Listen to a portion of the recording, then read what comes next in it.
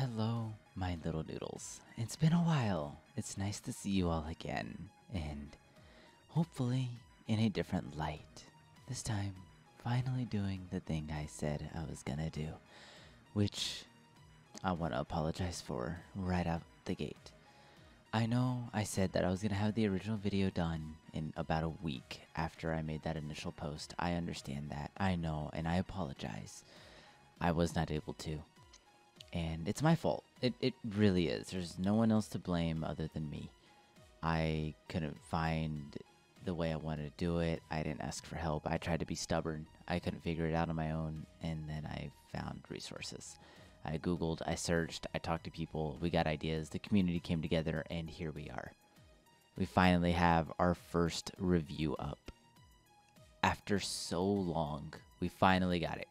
We did it, boys. We've made it. but you haven't seen it until we get there. Now, I'm going to say straight out the gate, I did record this segment in particular after I've already done the review. So I know already what I'm going to say. So I am going to go give you my warnings. If you're expecting anything involving spoilers, story based content, um, reveals of any of the stories and stuff. I do not want to give that. This video in particular covers more the mechanics, the gameplay, character design, enemy design. Um, it does lightly touch on the mechanics that are involved in the lore.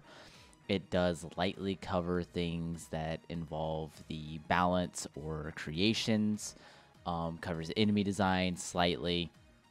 We cover all base mechanics and mechanisms that make the game the game we do less coverage on the story because again i want to be as spoiler free as possible as this is still a i do not want to hide or i do not want to spoil the game for people who want the game.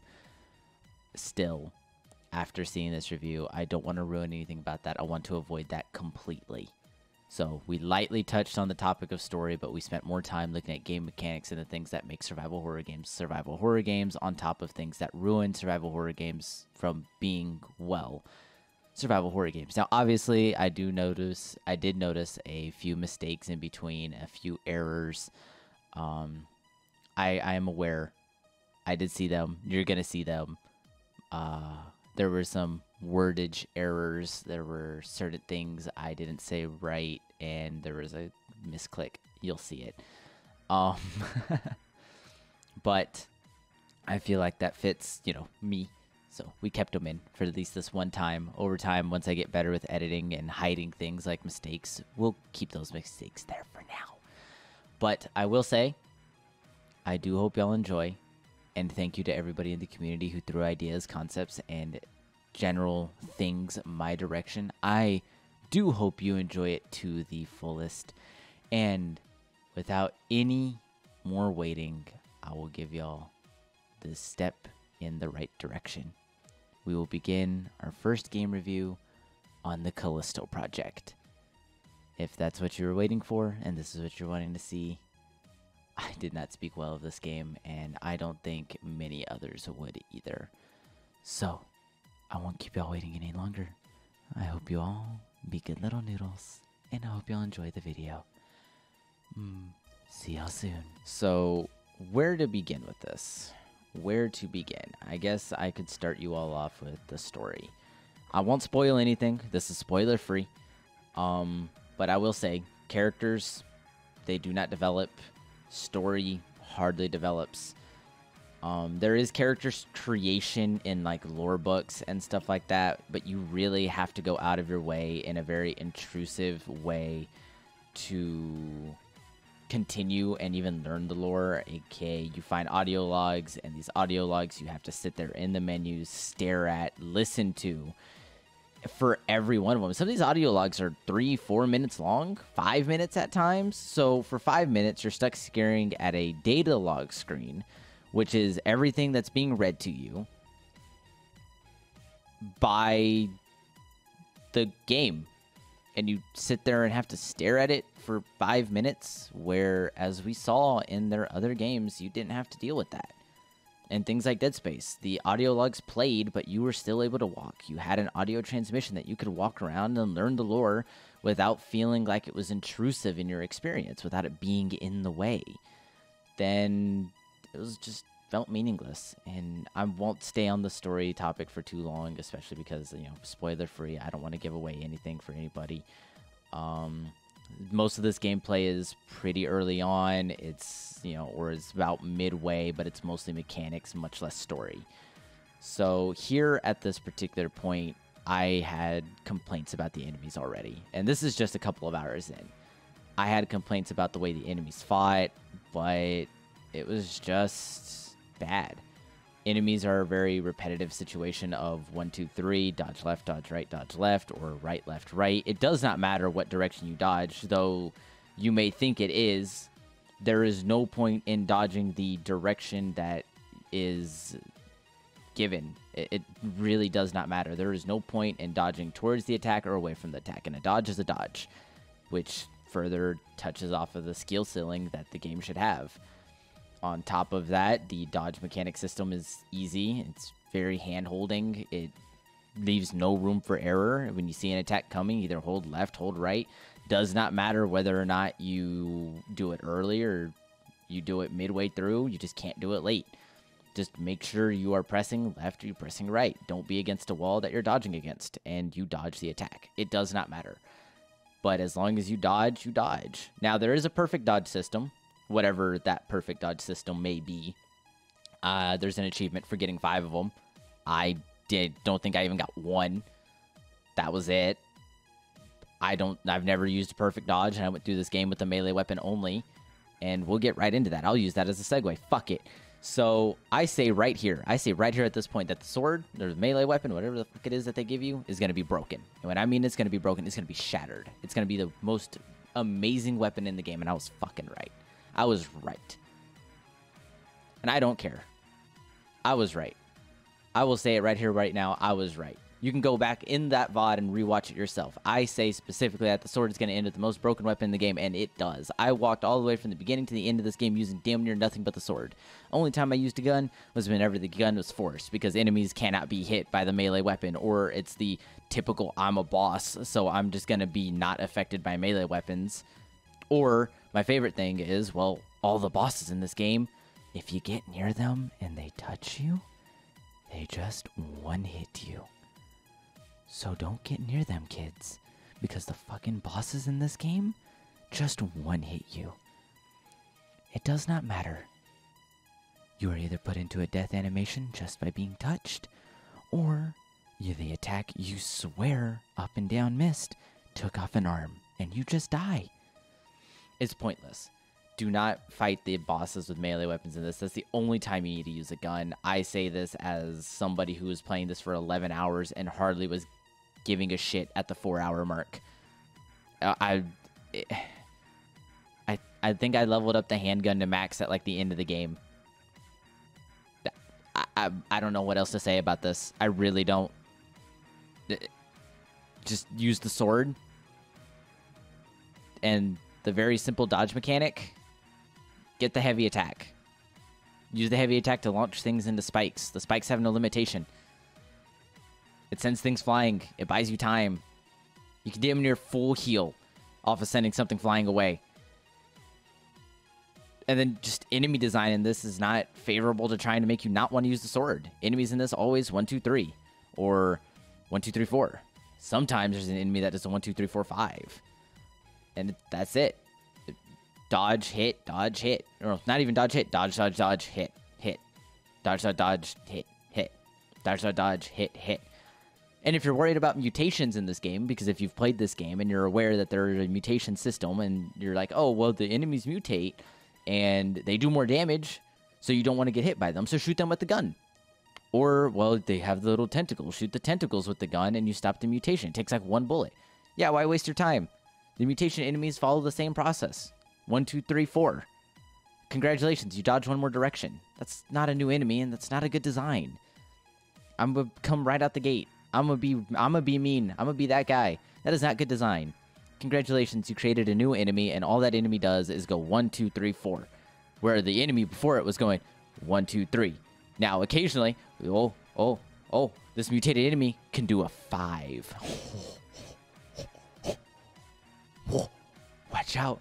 They'll do a fifth attack in which you just dodge the opposite direction of the fourth attack. Oh my god. I don't know what to do. Oh, it's it's I hate to mock this game, but I, I have to. Enemy design isn't good. World design is all right. Weapon balancing was pointless. Yeah, sure. Hey, I can level up my handgun to max and it gets explosive rounds at the cost of 5 ammo and it pretty much one hits everything that's not a boss. Cool. But also, you know what one hits the enemies? Spike walls. You know what can send them into spike walls? The heavy attack from the melee weapon. Or the grip capability, which I, again, also, I think I leveled up once. I think I leveled up the, the stupid little kinetic grip thing, like their little knockoff from the kid, you know, the kinesis kit or telekinesis, whatever the fuck they called it in Dead Space.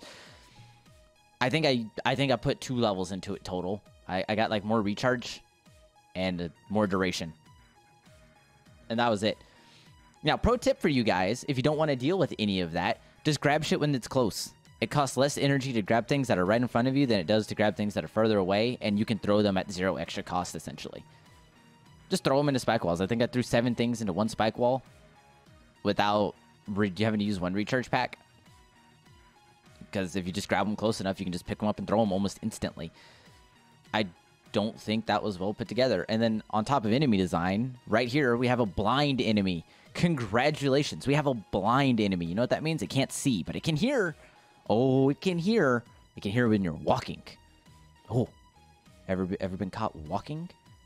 Ever been caught in this game walking? Yeah. Ever been caught in this game crouching? Yeah.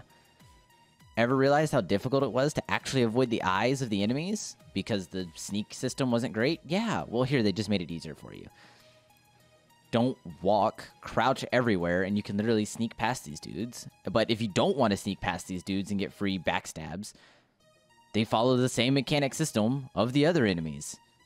And this is midway through the game, well over midway in the through the game. I think this is like maybe the seventh hour in, well midway through the game, and they follow the same mechanic: one, two, three. And as you can see here, this enemy mutated, and he does the same fucking combo. One, two, three. One, two, three. One, two, three. Occasionally he'll throw a fourth. Oh no, I broke off his limb. He's only gonna do one now. The taking off limbs in a in a Dead Space like game. Last time I did that, it didn't change shit. They still came at me. I don't have anything to say on that. It, it, it, speaks for itself.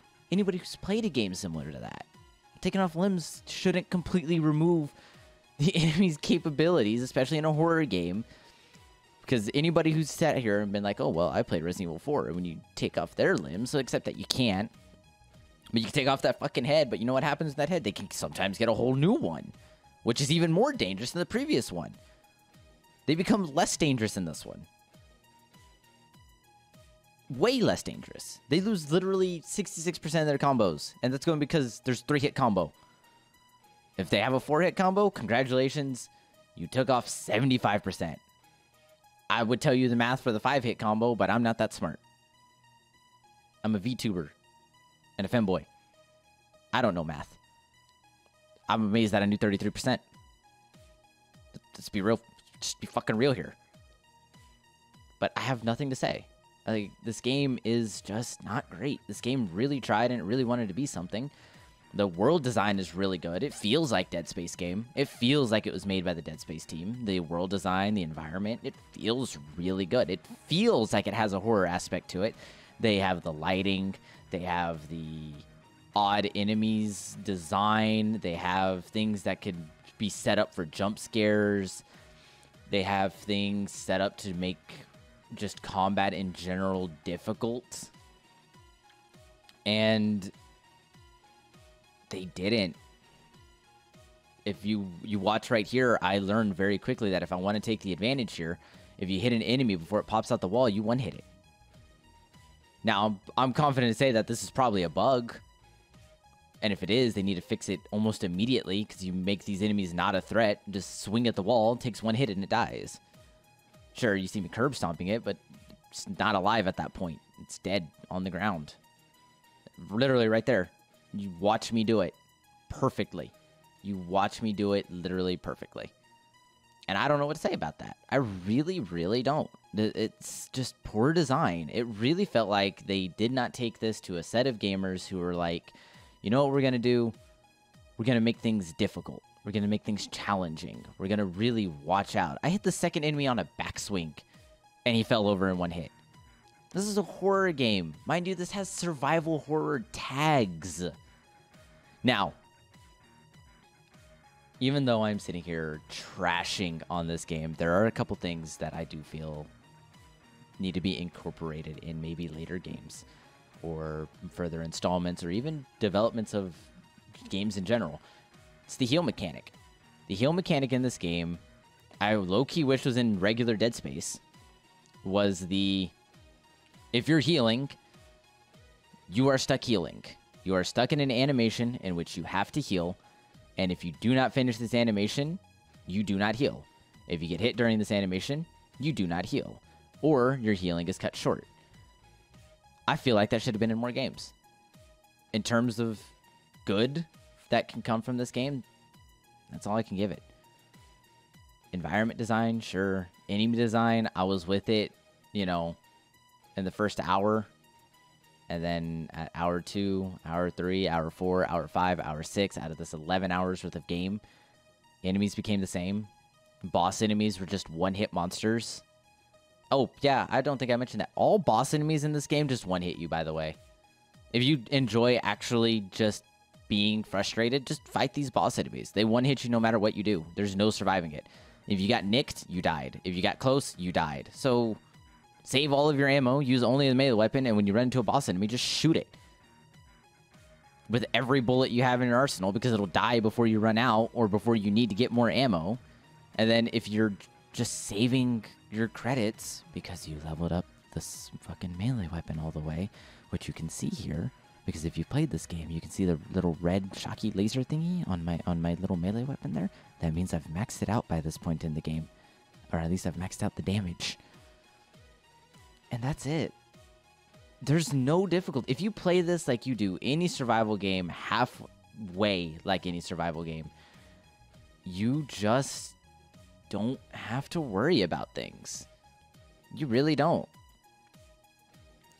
And I want to say that it's a good quality or that's a good trait. And I want to say it's a good game or I want to give it more traits and more goodness or more greatness, but I can't. I, I really, really can't. There's nothing good that came from this game. And other than the healing. And that's it everything else about this game just does not fit. It, it really doesn't. Nothing about this game fit anywhere. And I wish it did. I really do. I really, really wish it did. And I wanted it to.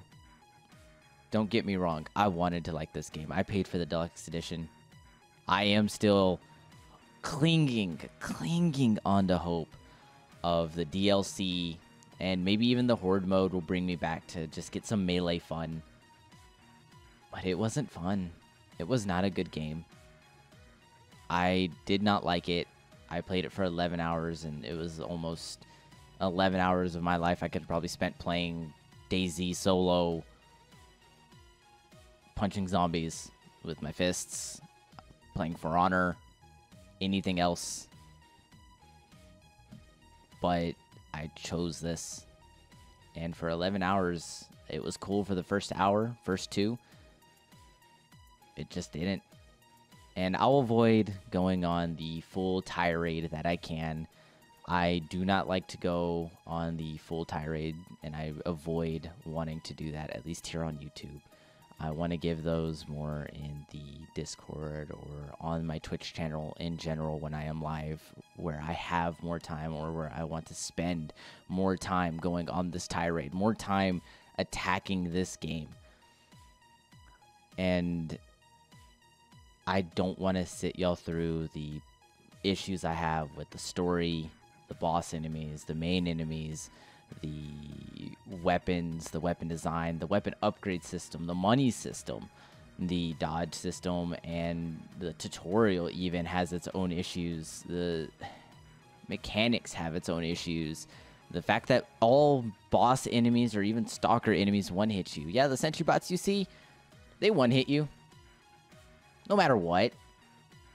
Somewhere in this VOD, I got stuck up against one of these enemies and like six other enemies at the same time. So I had to literally fight an enemy that is a one hit ranged monster that no matter what, you cannot avoid its attacks. If it's attacked you with its gun, it hits. On top of six other enemies stacked up against it. And that's it. It's got enemies that remind you of Dark Souls, or Dark Souls, of Dead Space 2 and Dead Space 1, sure. It's got the little touch, it's got the little crawly things, it's got the head that pop out the little sockets, you know, stuff like that. But there's so many things in this game that just do not they do not fit and they I feel like they did not need to be in the game. I really feel like they didn't need to even attempt to be in the game and they were. And it felt like a big waste to spend resources on mechanics that weren't good or resources on mechanics that weren't even wanting to try to be good. Enemies have unpredictable range. Again, I'm going on that tirade, I'm going on my rant, and I want to avoid that. But if I was to sit here and give this game a rate today, if I was to sit there in this chair, I'm not even sitting, standing here, wolf ears pointed, spider legs tingling. Give this a rate. Three. That's bad. Because I got a big game that I want to go after. That I rate higher than it. And I hated that game. Put so many hours into it, and I hated that game. But don't worry, that game is on the list of things I want to go after. And it will be on the list of things we will go after. And I do hope y'all get to see it soon. That video in particular will probably be longer because I don't want to waste any more time on Callisto Protocol than I already have. I put 11 hours into it. I hated 10 of them. I got bored at the third one, but I powered through. I don't want to waste more time on this game. I very, very wholesomely sit and wait to see if they do something that brings this game out of the dark into the light and hopefully something new. But I will tell you right now if you have paid for this game, if you're sitting on this game, or if you have not paid for this game, I personally do not suggest it. I will 2 out of 10 this game all the way. I will give it 3 out of 10, 2 out of 10, 3. Somewhere in between there. I believe I just said 3, but I lean on that fence of 2 to 3. It's a bad game. Don't listen to what anybody in journalism online tells you. Listen to the gamers on this one. The game gets repetitive. And hopefully we can see something for it later in the future. So, from there, I will leave y'all be. Y'all don't have to listen to my rant anymore. And I know it definitely felt like a rant. I did not cover every detail I wanted to. But do feel free to ask me yourself in the Discord even on my Twitch channel. I will give you a full, in depth 30 45 minute rant about the game. Just ask. But here, I'm gonna sign out on this one. I'm out of I'm out of my patience on that. So, I hope all of you have a wonderful day, and I hope you all enjoy the rest of your days or nights, or if you're just going to bed, I hope you sleep well. And this was my first shot. I hope y'all like it, and I hope we have more to come. Bye bye, everyone. See y'all soon.